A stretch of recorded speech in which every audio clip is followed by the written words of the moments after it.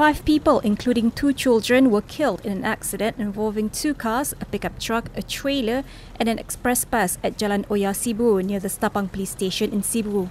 All the victims, including a boy and a girl aged 4 and 12 respectively, died on the spot in the 3:40 p.m. incident. It was learned that the driver of the trailer, which was transporting cars, lost control of the vehicle and rammed into the rear of the Perodua Viva. Full details of the identity of the victims who were travelling in the Viva could not be immediately obtained.